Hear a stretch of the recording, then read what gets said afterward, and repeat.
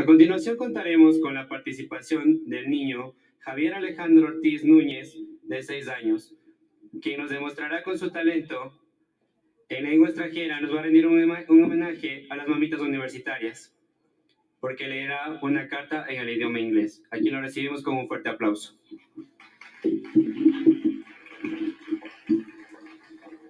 Good afternoon, ladies and gentlemen. Years old. I am here today to talk about an amazing person who gave us our life, and that's our mother. My mother is always there for me. And these are some reasons why she's special. My mother always tries to find a solution to any problem. My mother takes care of me when I am sick. My mother makes me delicious meals.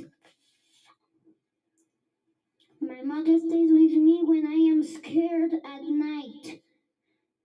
My mother always says, I love you like 10,000 times. My mother sings me songs to make songs to make me feel happy.